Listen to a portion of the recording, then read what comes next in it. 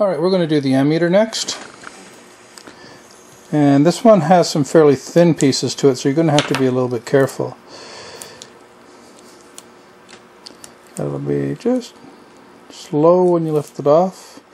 That little rectangle at the back of the arch of the gauge, you can cut that off to make it easier to apply if you don't want to have to try to slide this over top of the needle. It's your choice. It's not going to be seen anyway. But there is a part number on that and we try to reproduce that as accurately as possible. So you can see Brian just slid it over the needle and I'll zoom in here now. He's going to align the face. Once he's happy with it, push down on it. He's going to slide the uh, handle out and the ammeter is now decaled. It's that easy.